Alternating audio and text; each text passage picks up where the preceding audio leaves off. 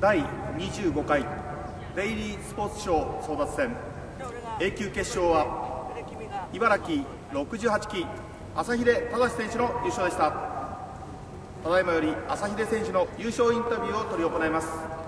お近くを通りの際には大きな拍手をお願いいたします。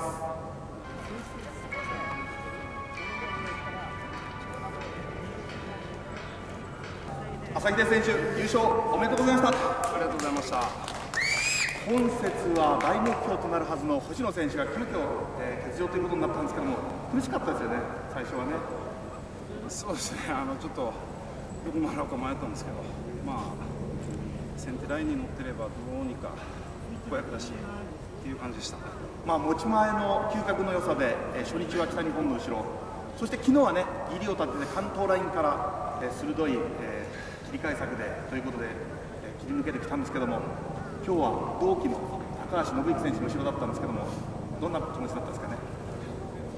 そうですね。まああの佐藤君がまあ成功してくれればまあどうにかまあコースさえ間違えなければどうにかなるかなという感じだったんですけど。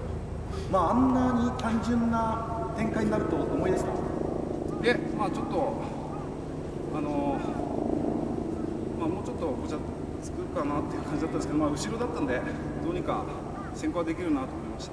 まあ今日は結局力だけで優勝ってことですよね。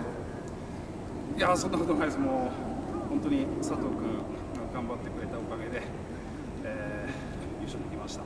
まあ、3日間、えー、礼に絡んでの優勝ということです。最後にお客様にメッセージをお願いします。はい、えーと、また S 級で走れるように、えー、一生懸命頑張ります。